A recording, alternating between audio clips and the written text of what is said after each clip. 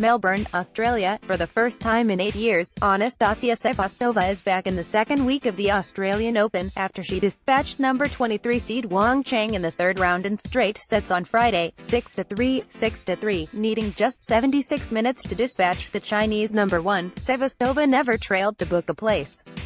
in the round of 16 down under for the second time in her career, and first time since 2011. A tidy match from the Latvian number 1 saw her hit 17 winners to 17 unforced errors, as she won 83% of the points played behind her serve and broke serve four times, more to come.